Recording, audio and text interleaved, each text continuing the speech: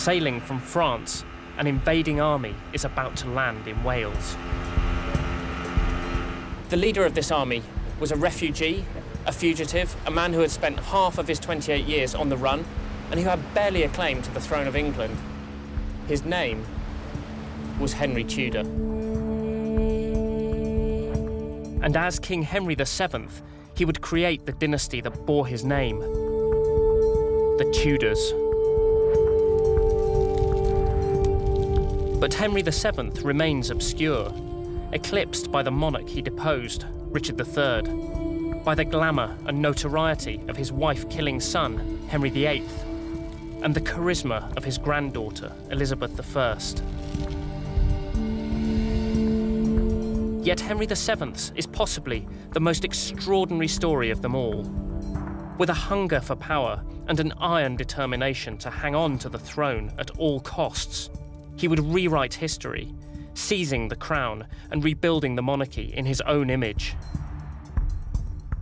He would become paranoid, described later as an infinitely suspicious ruler, a dark prince, his reign seen as a bleak, wintry landscape. For years, I've explored his murky story of spies and informers, intrigue and extortion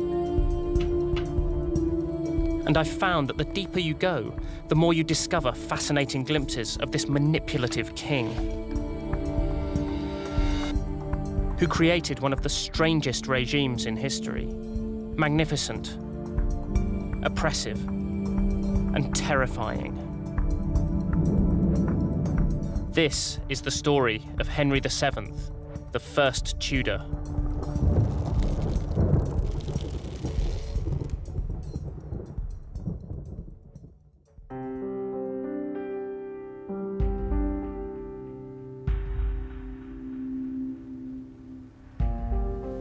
This is Henry. It's what remains of his funeral effigy, which was paraded through the streets of London after his death, dressed in his parliament robes and clutching his orb and sceptre of state. We can see his fine-boned features and the distinctive cast in his left eye. But this is also a face emaciated and ravaged by illness and stress. It's the face of a man who's never known a moment's peace.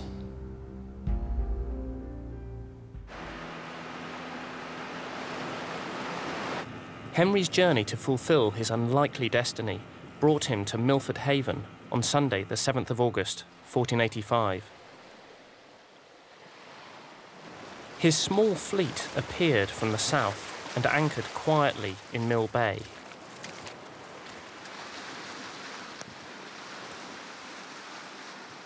Henry's ships drop anchor here, and his men come ashore, and we can picture them heaving munitions onto the beach, cannons, horses coming through the surf. Henry wades ashore, and as he gets to this beach, to the sand, he sinks to his knees, raises his eyes to heaven, clasps his hands in prayer, and says, Judge me, O Lord, and favour my cause. Henry would need all the help he could get.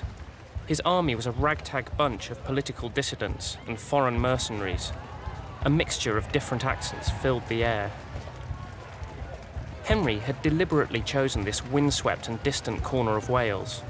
He wanted to slip in undetected, giving him time to raise support in his Welsh homeland before facing Richard III's much larger army.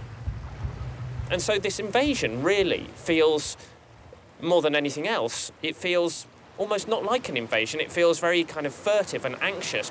He knows that the odds are stacked against him.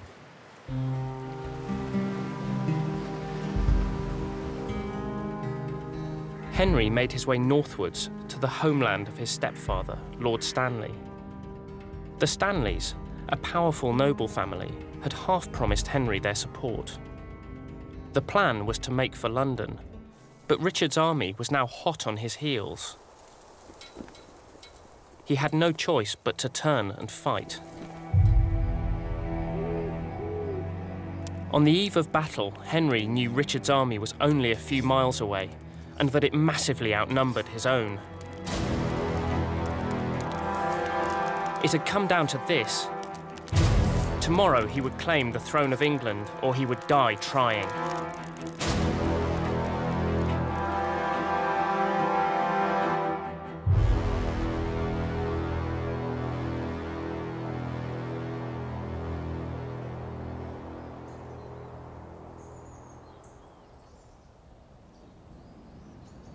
Early on the morning of 22nd August 1485, Henry advanced from over here towards Richard's much bigger army, drawn up on the ridge.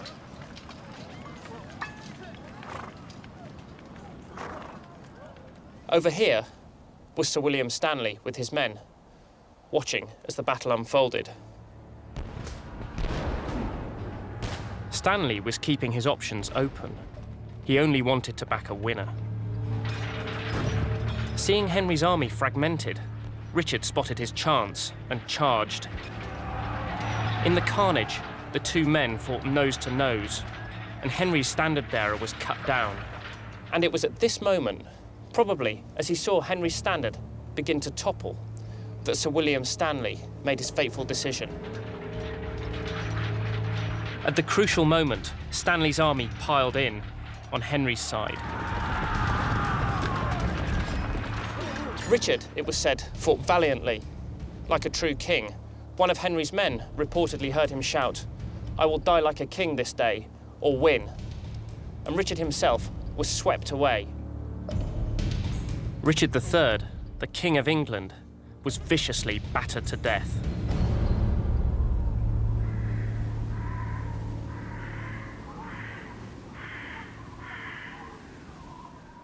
By mid-morning, it was all over. Henry's men moved busily about the battlefield, relieving the dead and dying of their valuables, piling bodies onto carts. On a nearby hill, Lord Stanley placed the dead king's circlet on Henry's head to the shouts of acclamation from his troops.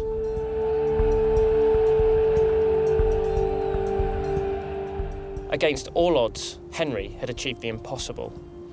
This man, who had been a refugee and fugitive half his life, had won the crown of England.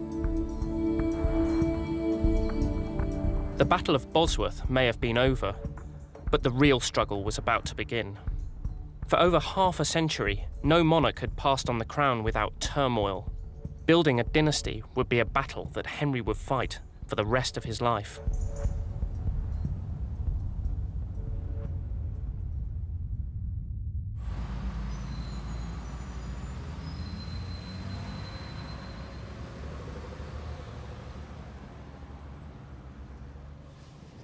Taking off my shoes because I'm about to tread on what is one of the most extraordinary pieces of medieval art.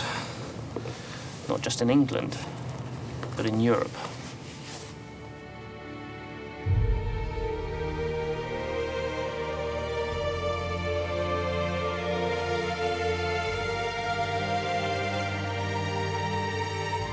This is amazing.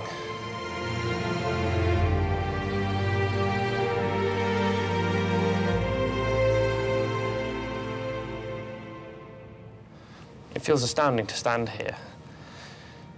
Every single English king, and queen for that matter, since 1308 has been crowned on this spot, precisely here. And it was here, on the 30th of October 1485, that Henry VII was crowned. It was a glorious, triumphant occasion, and Henry must have felt as though he'd achieved almost the impossible. This was an affirmation of his victory at Bosworth. It was a vindication of everything that he'd done, that he'd prayed for on the beach at Milford Haven.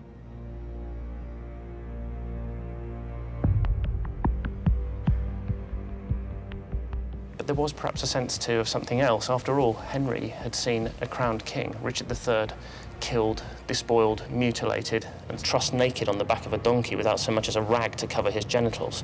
And he knew that what had happened to Richard III could also happen to him.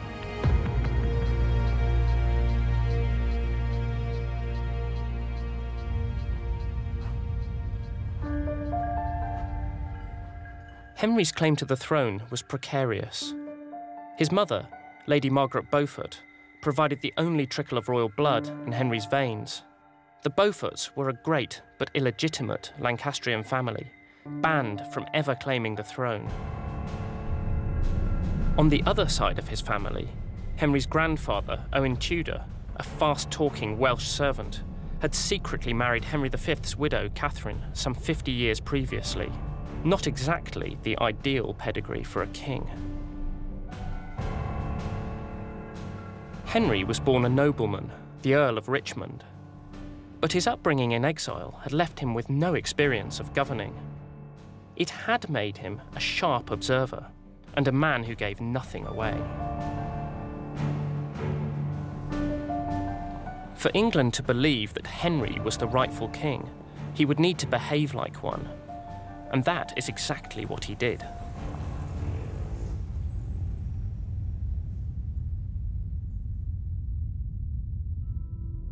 Parliament has met at Westminster for over 800 years.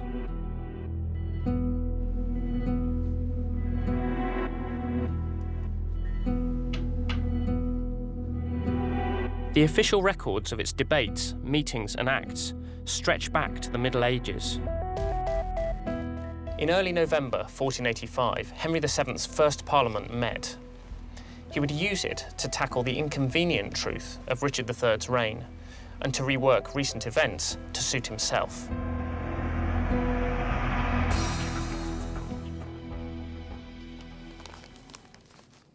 And here's the written proof the parliamentary record which shows how he did just that. In this record, Richard III is the usurper, Henry VII is the rightful king, putting the record straight. Richard III is referred to as the late Duke of Gloucester, and afterwards, indeed, and not of right, King of England. And his legislation is referred to as the act of false and malicious imaginations. But there was one thing in particular during this Parliament that Henry did, which sent a ripple of unease through the Commons. He rewrote history. It simply consists of a date here. Now, the Battle of Bosworth was fought on the 22nd of August 1485. But here, Henry VII has dated his reign the 21st in Roman numerals, day of August last past. That's to say, the day before the battle was fought. We might ask, what's in a day? Well, by backdating his reign to the day before he beat Richard III and became king, Henry was effectively accusing everybody who had turned out for Richard III on the battlefield of treason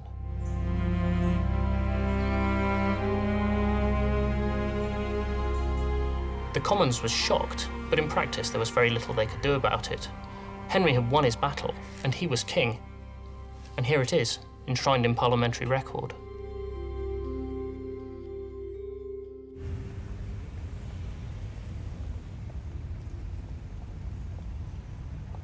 With Parliament sewn up, Henry's next move would bolster his position further. a marriage to cement all his dynastic ambitions. It was a strategic partnership, the fulfillment of a pact made while he was in exile, the pact on which his invasion was founded. The previous 30 years had seen England torn apart in what would come to be known as the Wars of the Roses, the House of Lancaster, represented by the Red Rose, against the House of York, represented by the White Rose. Richard III's coming to the throne in 1483 divided the House of York. He imprisoned his young nephews, two princes, in the Tower and proclaimed himself king.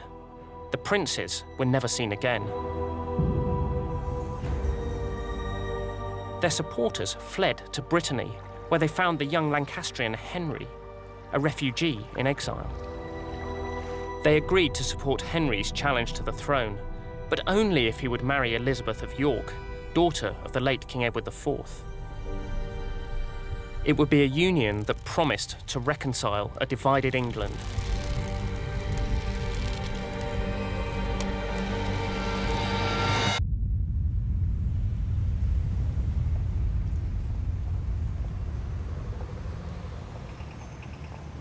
But Henry needed something to reinforce this union, something that would link this new dynasty with the English crown in the minds of his subjects.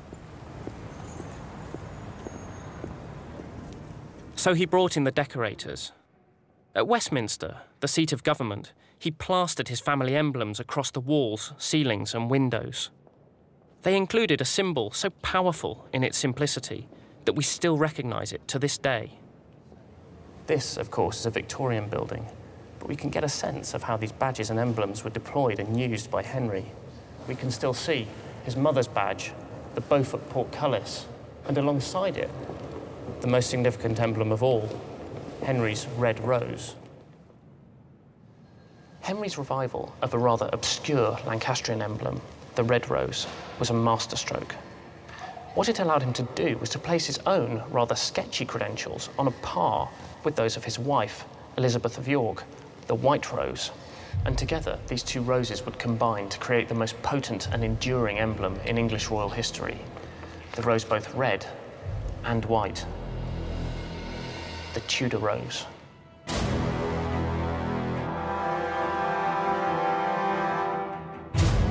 Henry was stamping his mark on the nation.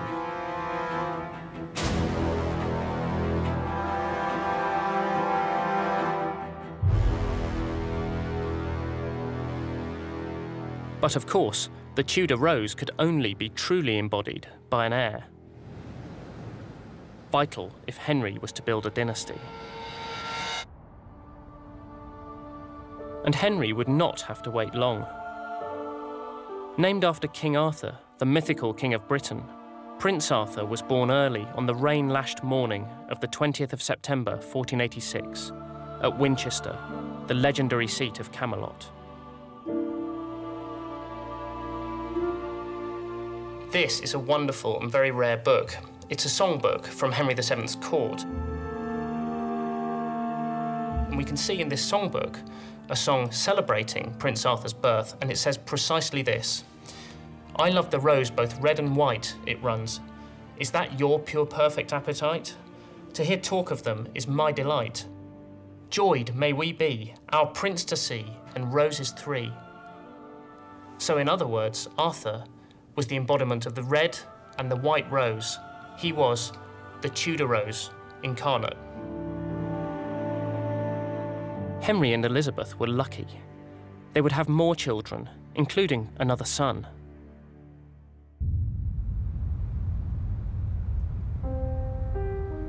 Henry was building a myth that he and his family were the true and rightful royal blood of England.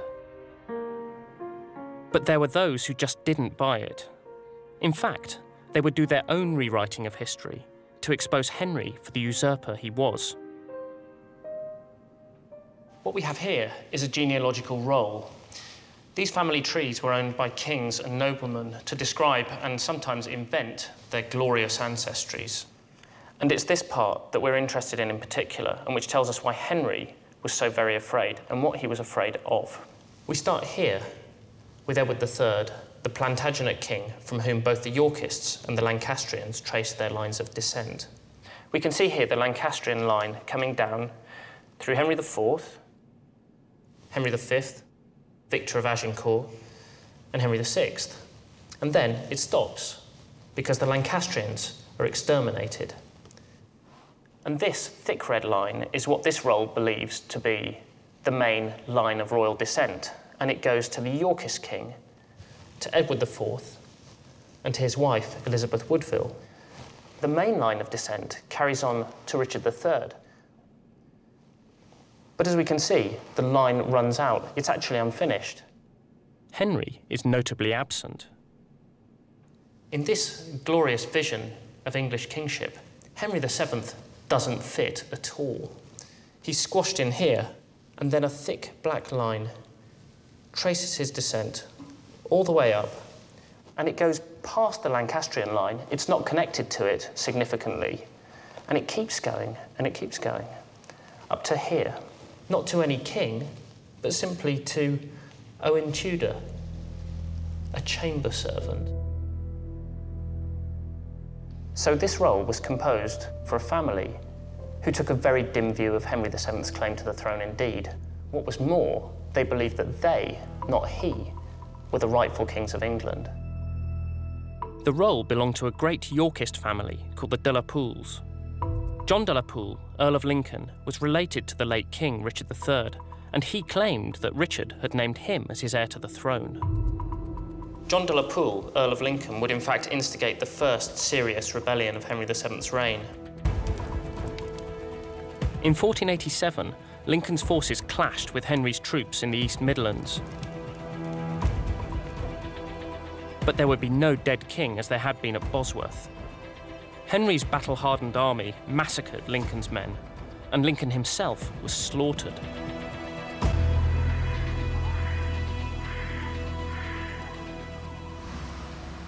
Henry had won a decisive victory and removed a genuine Yorkist contender for the throne.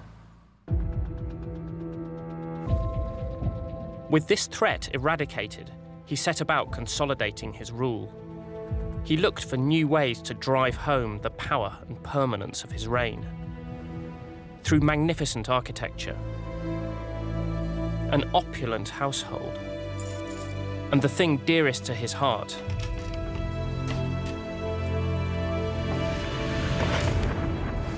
money. Look at The very these. first English gold sovereign, the very first pound as a coin. Well, this is uh, this is an extraordinary privilege, really, to see these. Barry Cook looks after the medieval coin collection at the British Museum.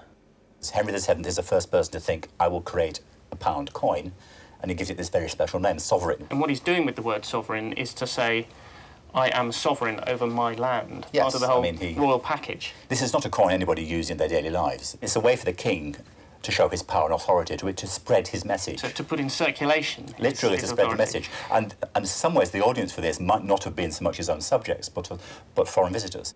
So when ambassadors were visiting, Henry would have given them a, a kind of royal goodie bag, as it were, and along with them he would have given them a, a number of these, uh, a takeaway souvenir of Hen- Henry's England, as it were. Absolutely. You have, a, you have a huge, stonking gold coin. Uh, but what does that tell you about the person who gives it you in a casual way?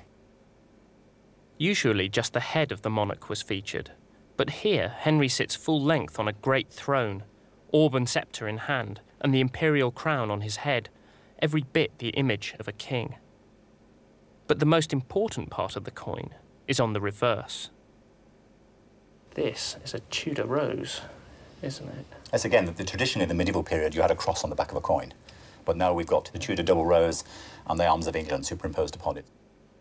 It's very specifically associating the coat of arms of England with the symbols of the Tudor family, Yes, the Tudor dynasty. The to two are interlinked, inextricable. Image is reality um, for power. I mean, and that's what these things are. Exactly. They are the one way a ruler can get the message across to the widest number of people before the advent of the modern world. I mean, they, they are the only Yeah, mass media. yeah, so yeah. what's on them is very important. But while Henry was starting to convince the international community that he was here to stay, at home old rivalries simmered and the aftershocks of rebellion rippled on. In early 1493, Henry got wind of another plot. Yorkist exiles in Europe were grooming a young man named Perkin Warbeck to impersonate one of the princes in the Tower, and were raising an army to invade England. For Henry, this was a disaster. Many had accepted him as king only because the princes in the tower were presumed dead. Now, with this supposed reappearance, their loyalties would be torn. After a decade of battling to establish his dynasty, this was a threat that Henry had to defuse. Henry spun a web of surveillance. Outwardly, he was always calm and inscrutable, giving nothing away. But this masked a savage intensity. He embedded spies in suspects' households, interviewing their servants and the chaplains and confessors to whom they opened their souls. And he discovered to his horror that the trail of conspiracy led him very close to home indeed. In fact, right to the heart of the royal household, to his Lord Chamberlain, who was responsible for the king's personal security. This man was none other than Sir William Stanley, whose intervention had won Henry the Battle of Bosworth. When Henry's men searched Stanley's house, they found a Yorkist livery collar studded with white roses and £10,000, enough money to bankroll an army. Henry began to feel that he would never be able to convince everyone that he was the rightful king. He would need to become even more vigilant, starting with how he ran his household.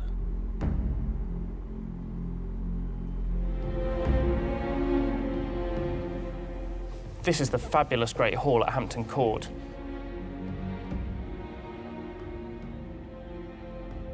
Henry's royal houses were destroyed centuries ago, but Hampton Court is laid out along much the same lines. This is the awe-inspiring public face of the royal household, and just to get in here, you would have had to have been one of the many hundreds of servants who worked here on a regular basis, or an accredited visitor. But the king was rarely seen here, he resided in the state apartments, which began behind this heavily guarded door. And if your name wasn't down, you weren't coming in.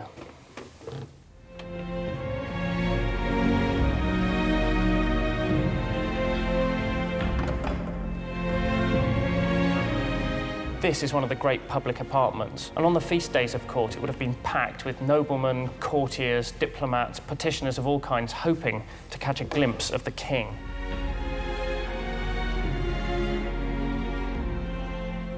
But it was this door that people most wanted to get through, and behind which very few indeed were ever admitted.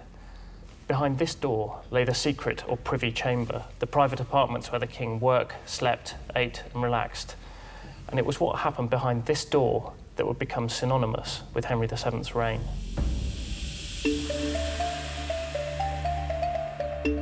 With the discovery of the Stanley plot, the Privy Chamber went into lockdown.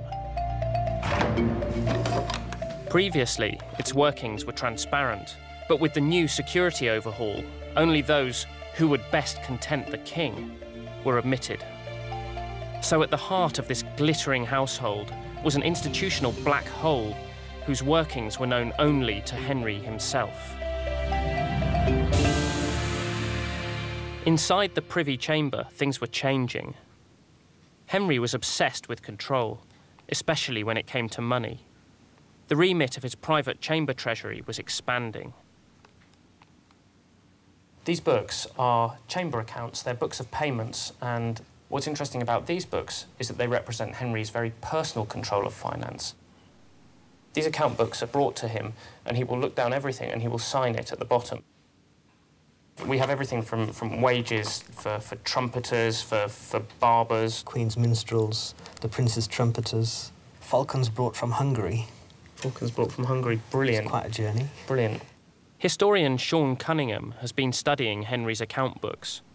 This one shows money coming directly into Henry's personal coffers, and these pages are written by Henry himself. I love this entry in particular. We have um, money delivered in old weighty crowns. You can, can sense him weighing it in his hand. That's right. Just seeing what picking up this weighty is. crown. Oh, that's good. That's and then and then and then I like this good crowns. Yeah, this is this is some these are some good crowns we have here. And there's thousands of pounds worth of bullion going through the king's yeah. literally through the king's hands. To Henry, money meant security and control, and how he used it was key. There's all sorts of, of unofficial activity going on. You'll have, for example, quite substantial rewards of, of, of, tens or maybe hundreds of pounds sometimes being given to, to strangers in reward, people from across the sea or certain persons riding on the king's business. And here, this is an interesting one. Sean, who's this? This is Sir, Sir, Charles. Sir Charles, probably Sir Charles Somerset. Who was one of the king's masters of intelligence. Yeah. For a man of Flanders. A man of Flanders. Up to up to something or other on, on official business. Lack of full detail, isn't it, which is a bit frustrating. Well, it's always a giveaway, but, though, isn't it? If you, if you, haven't got the detail, you have a sense that uh, he's on uh, His Majesty's Secret right, Service. Henry was building up a dense network of spies and informers whose reach would extend into the furthest and darkest corners of the realm. He would map the political loyalties of his subjects putting under surveillance those who looked likely to cause trouble.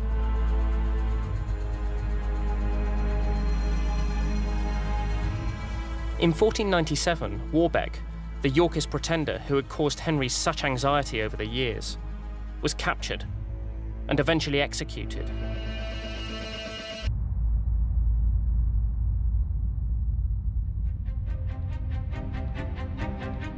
As the new century began, Henry VII had been on the throne for 15 years. Only now did he feel truly safe. Things seemed good. Henry completed his magnificent new house on the Thames west of London and named it after his earldom, Richmond. Here, in his maze of rooms, Henry could control his allies and keep a close eye on his enemies. The Spanish ambassador was clearly impressed by the state of the nation. England, he said, was remarkably tranquil. Previously, he wrote, there had always been a number of competing claims for the throne, but now there remained only the true blood of Henry VII, Queen Elizabeth, and their firstborn son and heir, Prince Arthur there remained not a drop of doubtful royal blood left in the kingdom.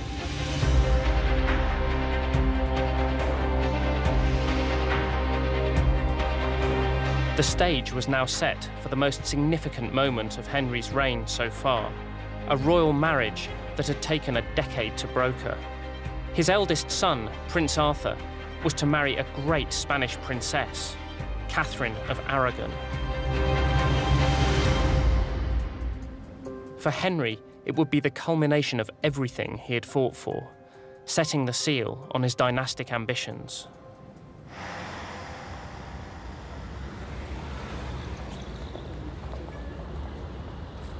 And the celebrations would be glorious.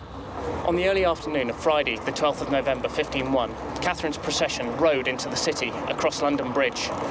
It was a dank, grey, drizzly afternoon, but what awaited her was spectacular.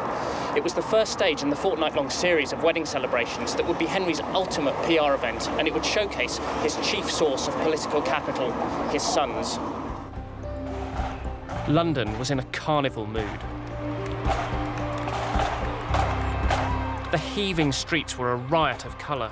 Accompanying Catherine of Aragon on her procession through London was the king's younger son. The 10-year-old Prince Henry loved the limelight. Already, he was a boy with the popular touch. But one thing was clear to everybody, and to Catherine in particular. She was about to become part of something very special indeed.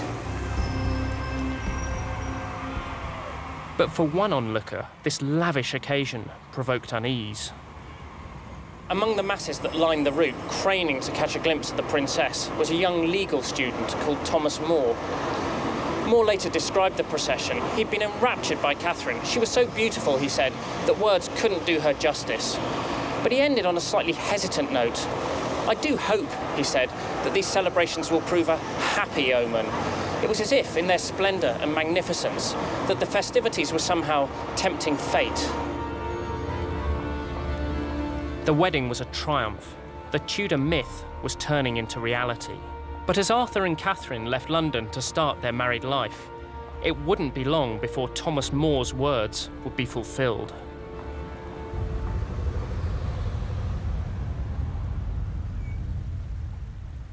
Late on the 4th of April 1502, a boat docked at Greenwich, where the King and Queen were in residence. Aboard was a messenger who brought terrible news. Prince Arthur had caught the virulent sweating sickness and was dead. Henry was devastated.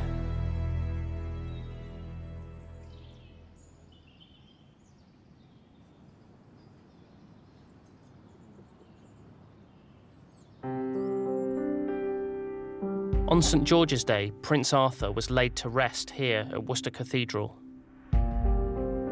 far away from Westminster and the glare of international attention.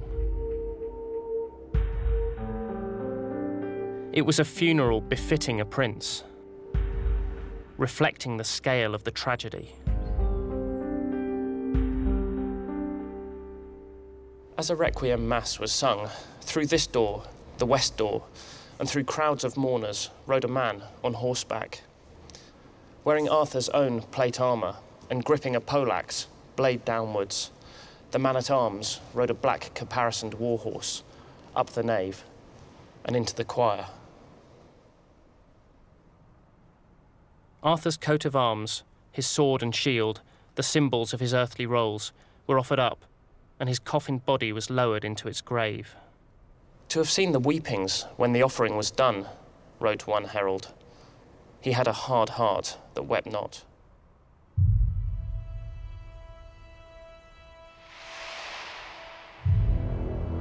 This is Arthur's chapel, his final resting place.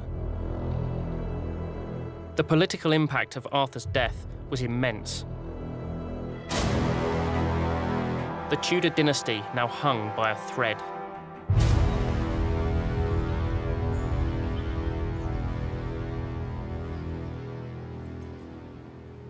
The dynasty's future now rested on the shoulders of Arthur's younger brother, Prince Henry, the king's only surviving son. But Elizabeth reassured the king that they were still young enough to have more children. And sure enough, within months she was pregnant. The royal household moved here to the Tower, where Elizabeth was to give birth. She went into confinement, surrounded by her ladies and gentlewomen. But it was a traumatic and premature labour. With a raging temperature, she slipped in and out of consciousness. Henry was beside himself. Messengers rode through the night to summon specialists, but nothing worked. On the 11th of February, 1503, her 37th birthday, Elizabeth died.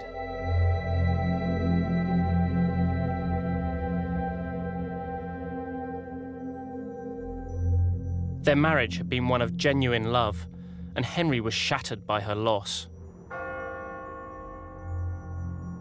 But of course, their marriage had represented something else as well the union of Lancaster and York, the reuniting of England after decades of civil war.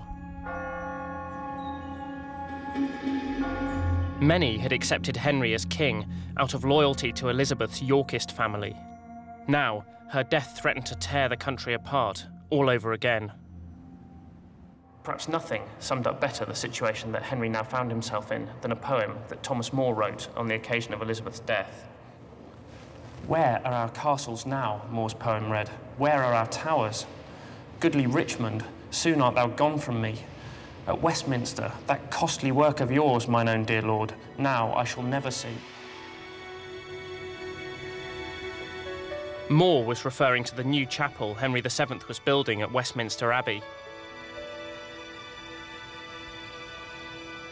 Adorned with all the familiar symbols of his kingship, the Beaufort portcullis and the Tudor rose, the chapel was intended to be yet another monument to the splendour of Henry's dynasty.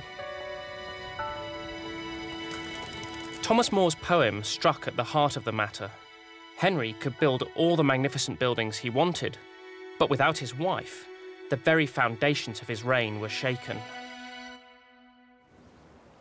Usually so inscrutable, Henry's reaction to Elizabeth's death was one of complete physical collapse. Retreating into the depths of Richmond, he came close to death. But when he emerged six weeks later, the mask was back in place, and his drive for control was even more remorseless.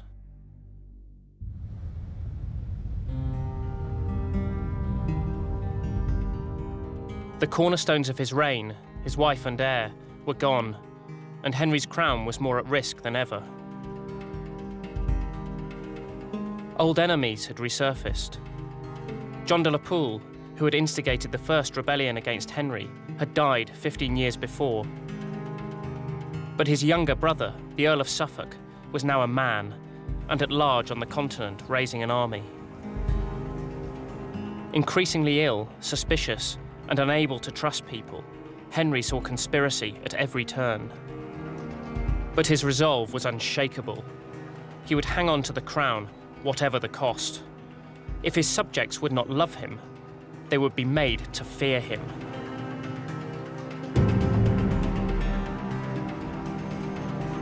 Henry was perfecting a very effective system of repression.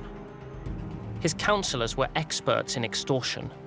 They forced people into bonds and debts to the king to guarantee their good behaviour and fined people vast, unpayable sums of money. For everyone from nobles to merchants, it was like being on permanent bail. Anybody who broke the conditions of these bonds faced financial ruin. Now, betraying the king was not just unthinkable, it was unaffordable.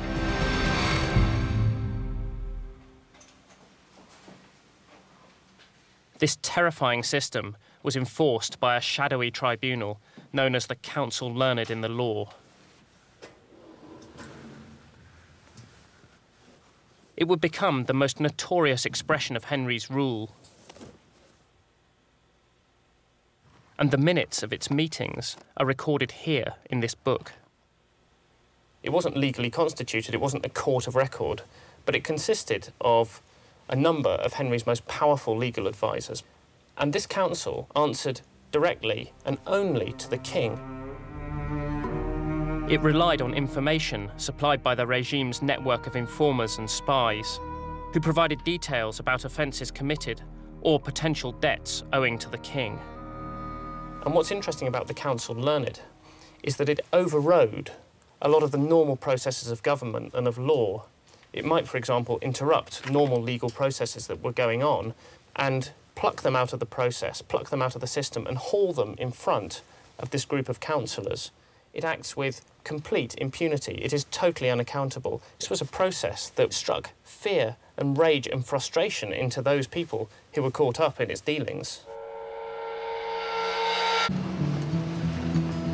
Of all the men associated with the Council Learned, Perhaps the most infamous and potent was a silver tongued lawyer named Edmund Dudley. Dudley had spent six years working in the City of London, networking and becoming intimately familiar with its corridors of power, its major players, and the intricate web of rivalry, opportunism, and distrust that linked the guilds and companies and he saw firsthand the dodgy dealings and corrupt transactions of the bankers and merchants that made the city tick. When in autumn 1503, Dudley resigned from his post, he was given a golden handshake by a grateful city. But what the city did not expect was that Dudley was going to work for the king. Dudley was a poacher turned gamekeeper. Fast tracking him into royal service Henry handed him an unprecedented role. Dudley's expertise lay in defining and enforcing the king's legal rights. Sifting through pages and pages of financial paperwork, he used long forgotten laws to inflict crushing financial penalties on Henry's subjects. Dudley described the brief he had been given. Henry, he said, wanted many persons in danger at his pleasure, bound to his grace for great sums of money. What Dudley was doing was technically legal, but it was stretching the law to its absolute limits. It was, he said, extraordinary justice.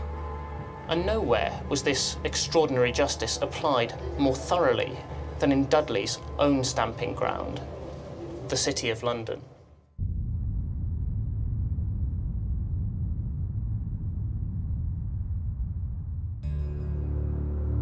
But as time passed, the charges brought against people didn't just stem from obscure laws.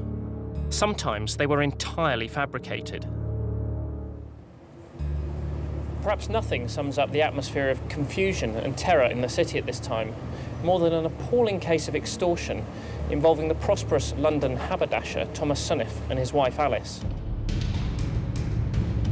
Dudley falsely accused the Suniffs of murdering a newborn child and dumping the body in the Thames. The phony charges were designed to make it seem that the Suniffs had broken an existing bond for good behaviour.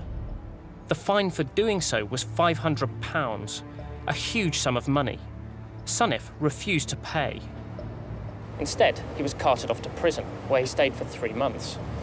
When his case finally came to court, the jury was rigged, and the judges, intimidated by the king's lawyers, found him guilty. With no prospect of release and fearing that he may have died in jail, Thomas Sunif finally broke and paid up. In his account book, Dudley entered Suniff's fine of £500 for a pardon for the murdering of the child.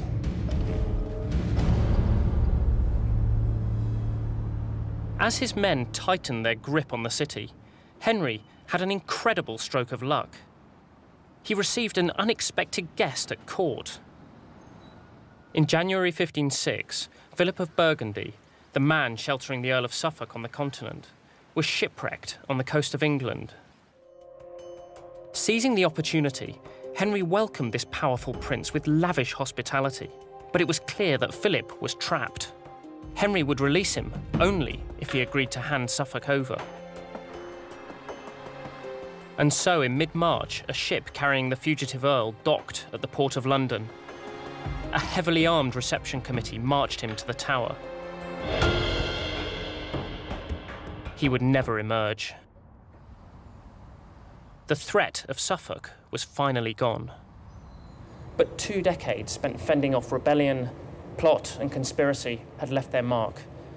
This perpetual state of emergency had hardened into a way of rule, and England was now in the grip of a system that people found both disorientating and terrifying. Henry's subjects were scared, and they were resentful. But they knew that Henry could not go on forever. Closeted away at Richmond, his health had been failing for years. All eyes were on Prince Henry and what sort of king he was going to be. Ever since Prince Arthur's death, the king had wrapped Prince Henry in cotton wool, keeping him confined in the royal household. By 1507, Prince Henry was growing into a brilliant, handsome, and athletic teenager but his father's control had begun to chafe. The king, increasingly ill, was only too happy to show off his son. He allowed Prince Henry to organise the spring tournament. The prince would be shown off, but not in the way his father anticipated.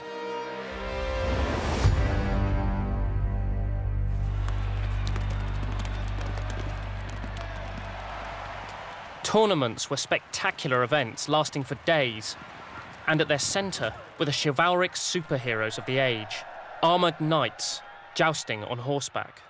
But although he was proving a brilliant jouster, Prince Henry was not allowed to fight. His father had already lost one son and wasn't about to lose another. Toby Capwell is the curator of arms at the Wallace Collection and has first hand experience of the joust. There's always risk in anything that's worth doing, right? And jousting would be pointless if it was completely safe. I mean, you, you look at what they're fighting with. This is a safe one. This is the safe kind.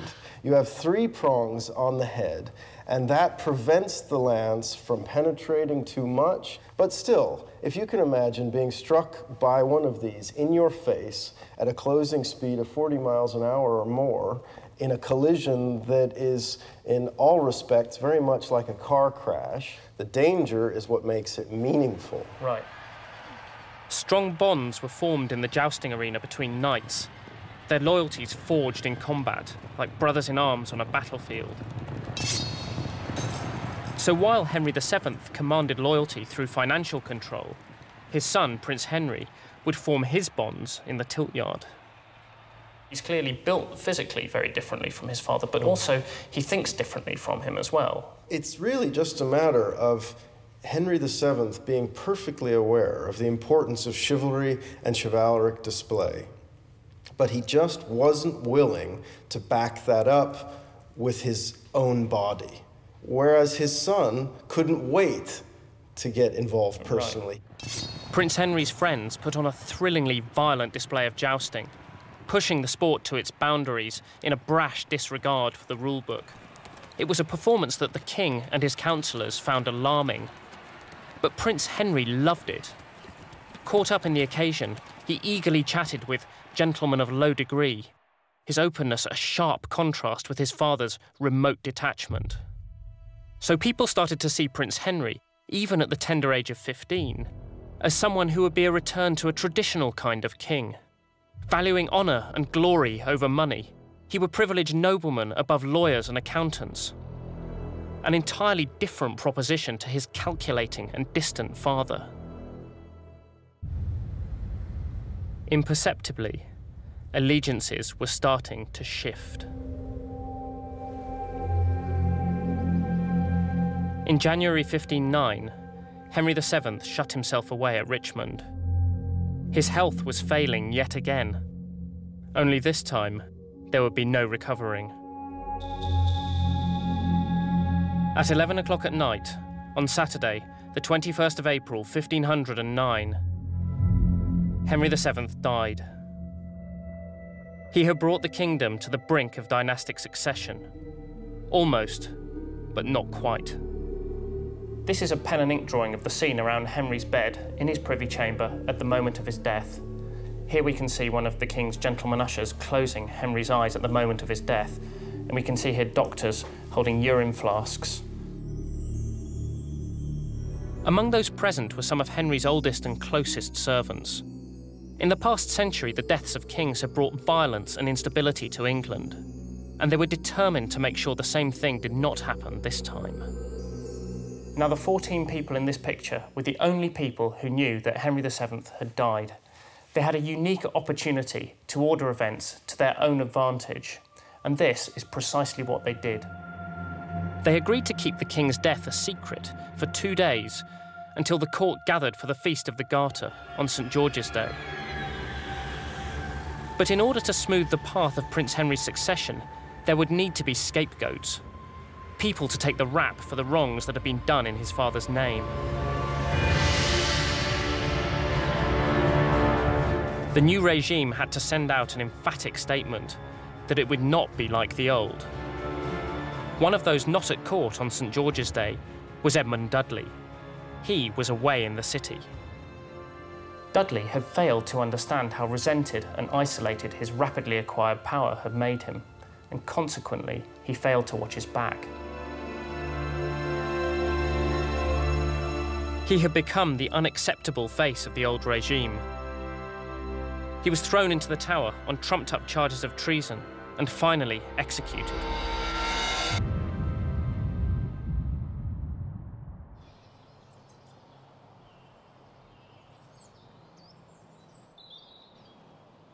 As the 17 year old Henry VIII was proclaimed king, he worked with a populist touch, issuing a general pardon which promised reforms, justice, and the redressing of wrongs. Thomas More's coronation poem celebrated the coming of this spectacular new young king and contrasted the reign to come with the dark days that had just passed. This day is the end of our slavery, the beginning of our freedom, the end of sadness, the source of joy. Now, he said, there were no thieves with their sly, clutching hands, and no longer does fear hiss whispered secrets in one's ear. This king is loved. More also said that the crowning of the new king was like the coming of a new season.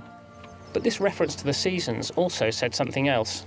In fact, it underscored a contrast that More emphasised throughout his poem. If there was to be a new spring of joy and freedom, it had to follow a winter of repression and fear. If Henry VIII was the spring, Henry VII had been the winter.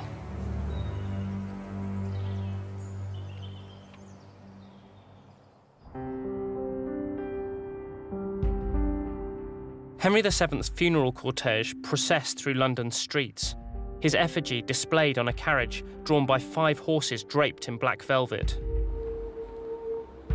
But for all the criticism of his reign, Henry VII had still achieved what he had set out to do.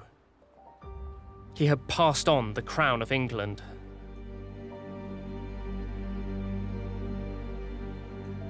Westminster Abbey is a national shrine, the burial place of kings, politicians, poets, and playwrights. And this is where Henry VII was laid to rest, in the chapel he had been building for the past six years. It was one of the architectural wonders of the age.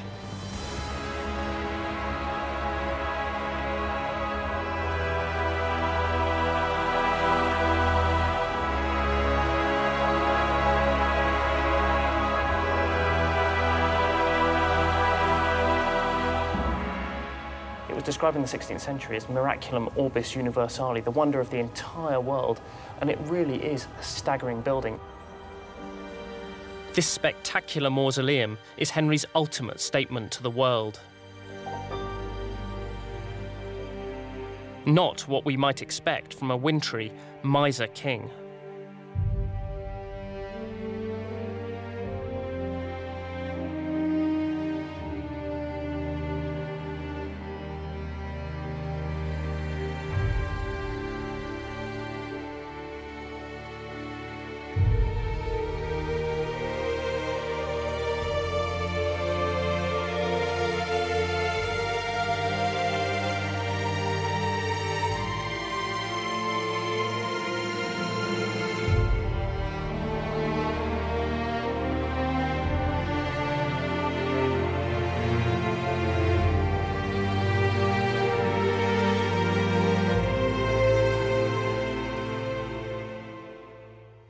So here they are, Henry, buried according to his last will and testament, alongside his dearest wife, Elizabeth. These are idealised portraits of Henry and Elizabeth. As they were in their prime, they're intended to be eternal figures of kingship and queenship.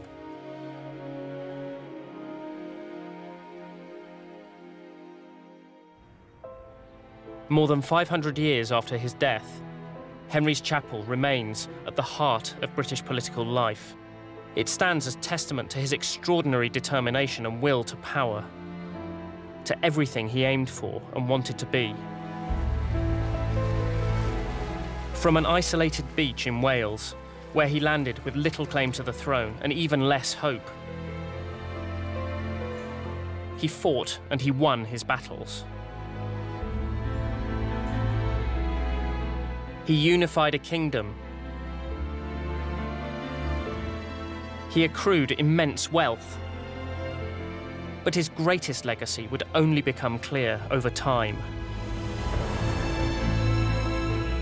Running around the tomb is an inscription.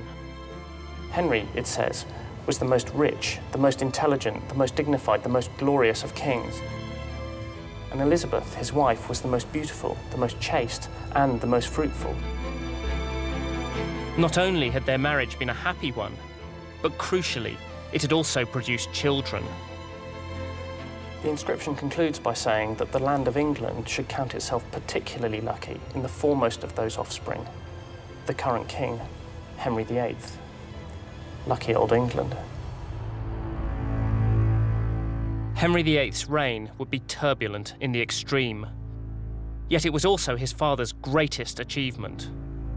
Henry VII had created our most famous, most notorious dynasty the Tudors.